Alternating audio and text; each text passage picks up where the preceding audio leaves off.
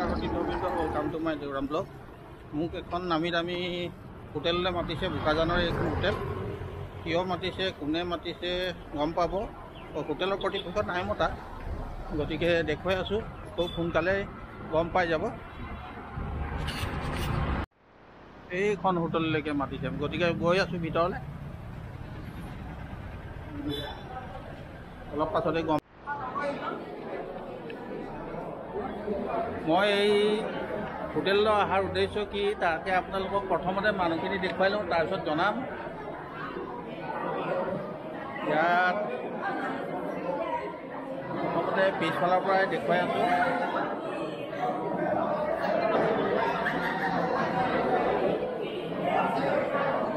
অলপ সন্মুখৰ ফালৰ পৰা আপোনালোকক দেখুৱাই আছোঁ। ইয়াত সমবেত হোৱা ব্যক্তিসকলক। অলপ খৰকৈ গৈছোঁ।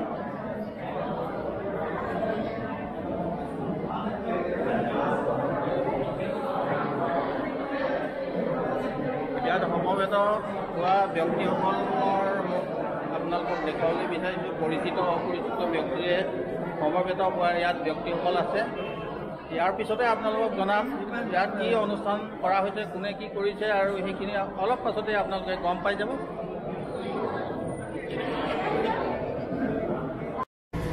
আনিব আসন গ্ৰহণ কৰাৰ বাবে প্লাবিতা বৰদলৈ আৰু তেখেতকো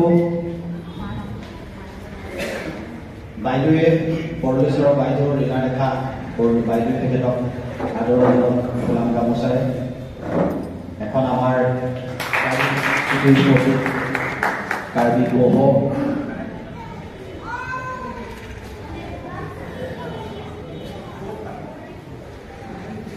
এখন কাৰ্বি চল আৰু অসমৰ গৌৰৱৰ প্ৰতিকৃতি গড়ে তেখেতক আমি আদৰণি জনাইছোঁ। আমাৰ পেহী বুলিয়ে মাত্ৰ সেইকাৰণে আচলতে ডিগ্ৰী হৈছে কুমাৰ মুৰলী বৰদলৈ আহ, বৰদৈ ছাৰৰ ভণ্টি। পেহী আদৰণি জনাব।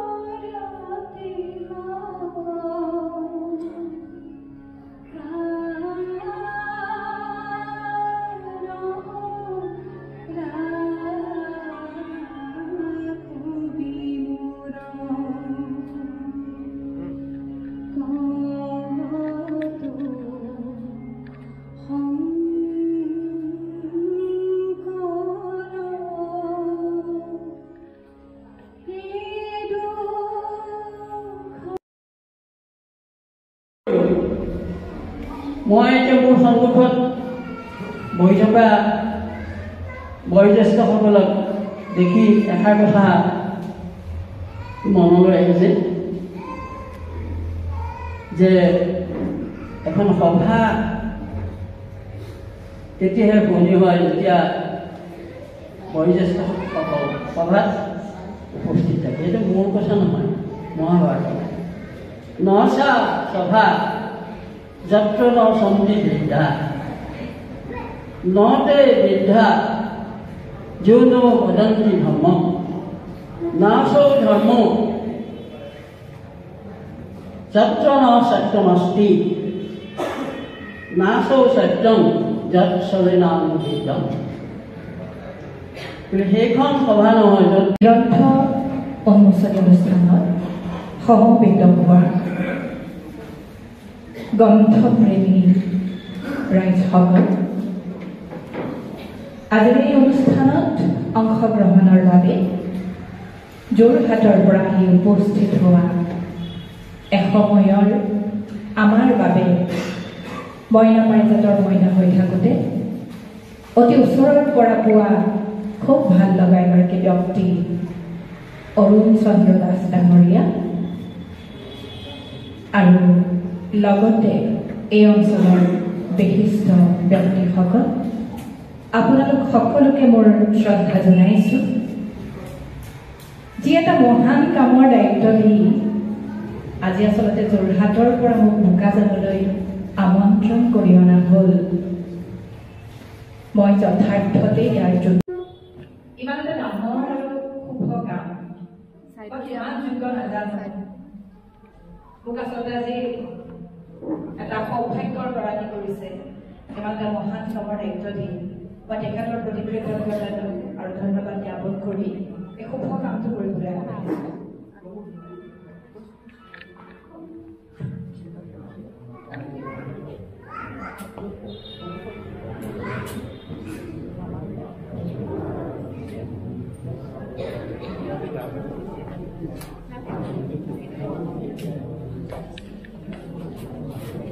好，可以吧？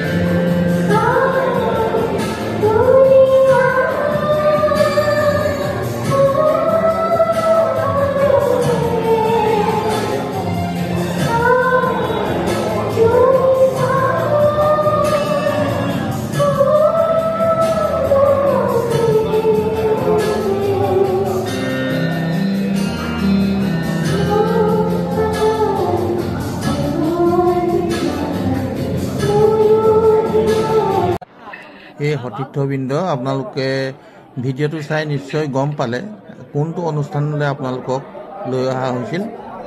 আৰু এনে ভিডিঅ' চাই কেনে পালে জনাব নিশ্চয়। আজিলৈ ভিডিঅ'টো ইমানতে সামৰিব বিচাৰিছোঁ। চিৰ চেনেহী মোৰ ভাষা জননী জয় আই অসম।